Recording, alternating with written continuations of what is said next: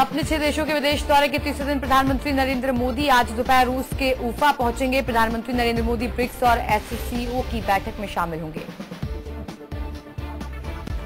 PM Modi आज रूस के राष्ट्रपति पुतिन से मुलाकात करेंगे। इसके साथ ही पीएम मोदी चीनी राष्ट्रपति जिनपिंग से भी मुलाकात करेंगे।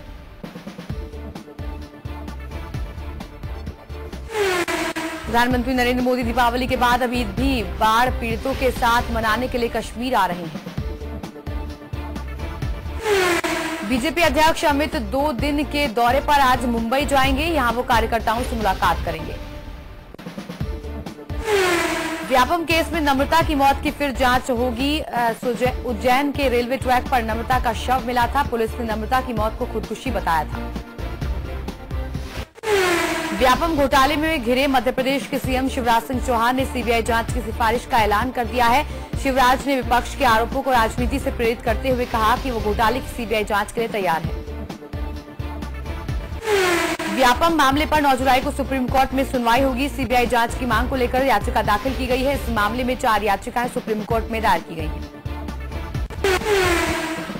मसूरी के भाजपा विधायक गणेश जोशी ने कांग्रेस पर 25 करोड़ के घोटाले का आरोप लगाया है। गणेश जोशी ने कहा कि मुख्यमंत्री द्वारा चलाई जा रही स्वास्थ्य बीमा योजना का लाभ बड़े अधिकारियों को पहुँचाया गया है। कुमाऊं के चार दिवसीय दौरे पर अल्मोड़ा पहुँचे कांग्रेस के प्रदेश सह प्रभारी संजय कपूर ने कार्यकर्ताओं की बैठक ली। उन्होंने कहा कि जिला पंचायतों में जिस तरह कांग्रेस ने प्रदर्शन किया, उससे कांग्रेस आगामी 2017 चुनाव के प्रति पूरी तरह से आश्वस्त है। अमरोहा के गजवाला थाना क्षेत्र के एनएच पर बाइक सवार बदमाशों ने साहूकार और उसके बेटे से डेढ़ लाख रुपए की नकदी लूट ली और लूट का विरोध करने पर साहूकार के बेटे को गोली मार दी।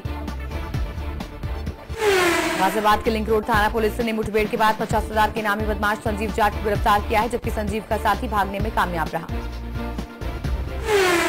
औरैया के कोतवाली क्षेत्र में जालौन मार्ग पर तेज रफ्तार ट्रक ने बाइक सवार तीन युवकों को कुचल दिया, जिससे तीनों की मौके पर ही मौत हो गई।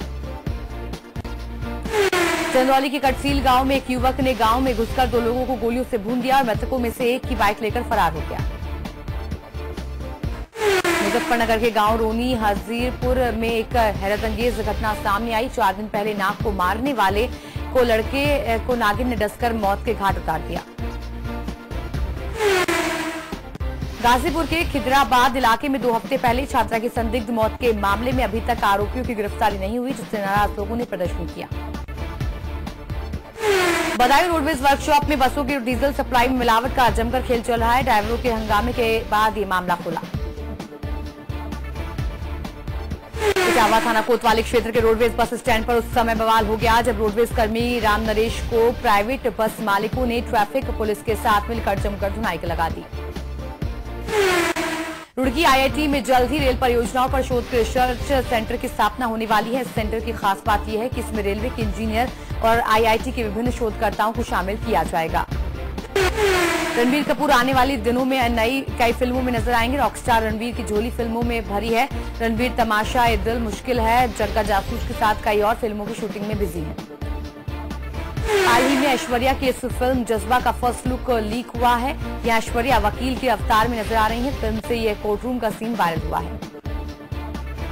John Abraham film Welcome back में एक टपोरी अंदाज में गाना गाते हुए नज़र आएँगे, जिसके चलते इतना सोचती काय को है। सलमान खान की धारावाहिक ये है, मोहब्बतें के कलाकारों के साथ ठुमके लगाते देखे गए। सलमान की फ़िल्म बजरंगी भाईजान ईद पर आ रही है, जिसके प्रचार के लिए वह टीवी शो में मौजूद हैं।